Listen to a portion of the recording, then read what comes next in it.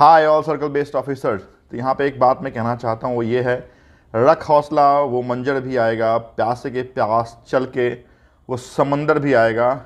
थक कर न बैठ ए मेरे मुसाफिर, मंजिल भी मिलेगी और मिलने का मज़ा भी आएगा।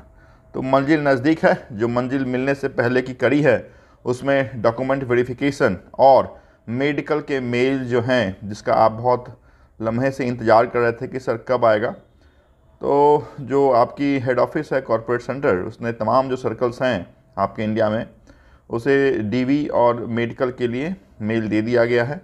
तो यहाँ पे बहुत सारे सर्कल कुछ ऐसे सर्कल हैं जिन्होंने अपने जो न्यू सीबीओ होंगे, उनके लिए उन्होंने मेल फॉरवर्ड कर दिया है और उनकी डॉक्यूमेंट वेरिफिकेशन की शुरुआत संभवतः ट्वेंटी फ़र्स्ट से हो जाएगी। ट्वेंटी फ़र्स्ट भी है ट्वेंटी सेकेंड भी है ट्वेंटी थर्ड भी है सो ऑन है।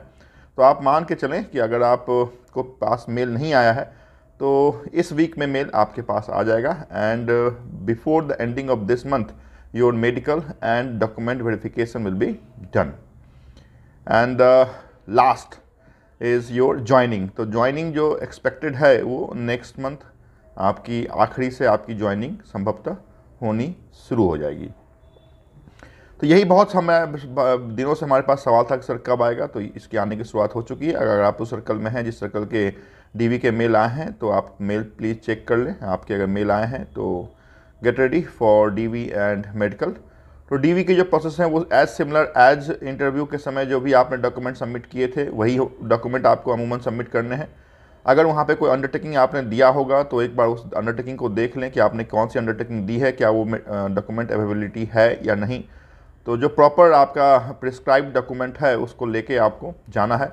मेडिकल का जो मेल आपके पास आया है, उसमें जो जो भी सेंटर दिए हुए हैं, है ना, वहाँ पे जाके आपको अपने मेडिकल टेस्ट करवाने हैं। उसकी रिपोर्ट आपकी जो रिस्पेक्टिव एल एच होगी, वहाँ पे चली जाएगी।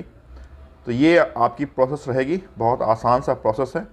मेडिकल में दूर होने का मेडिकल में डिबार्ड होने की संभावना ना के बराबर होती है। तो लगभग ना होगी, है ना। और जहाँ तक डॉक्यूमेंट वेरिफिकेशन की बातें हैं, वहाँ पे ये डॉक्यूमेंट बिल्कुल होने ही चाहिए।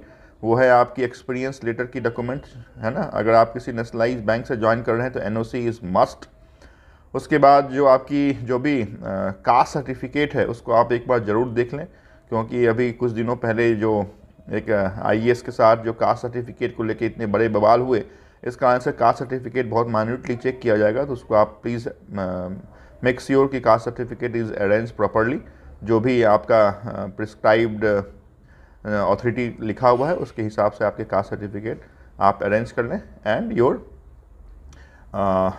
एजुकेशनल क्वालिफिकेशन तो ये चार वैसे डॉक्यूमेंट हैं जिसको वेरिफिकेशन बहुत इंपॉर्टेंट होती है. अदर देन दीज फोर जो भी हैं, वो ठीक है, वो तो एक प्रिस्क्राइब्ड आपका चार्ट ऑफ़ डॉक्यूमेंट है तो वो आपको सबमिट करना ही है. लेकिन इस, इन चार में कोई इफ़ और बट नहीं होगी. अगर आपको लग रहा है कोई ऐसे नाम हैं जो कुछ गलत है तो please arrange affidavit for the same आप उसकी एफिडेविट बनवा लें। अगर वो बोलेंगे तो at the same time you can submit the affidavit on the spot तो अगर कुछ ऐसा है जिसमें आपको लग रहा है कोई नाम गलत है, कोई स्पेलिंग गलत है तो आप पहले ही एफिडेविट उसका अरेंज करके रख सकते हैं। If required you can submit at the point of time right तो लेट्स सी कि आपके डॉक्यूमेंट वेरिफिकेशन कब खत्म होंगे और हम एक नए मेल का इंतज़ार करेंगे। वो मेल ये होगा कि आपकी फाइनल जो ज्वाइनिंग डेट है, वो ये है और उस दिन आप उस बैंक में जाएँगे। उस लर्निंग सेंटर में आप जाएँगे जहाँ पे आपकी ज्वाइनिंग होगी। All the best and good luck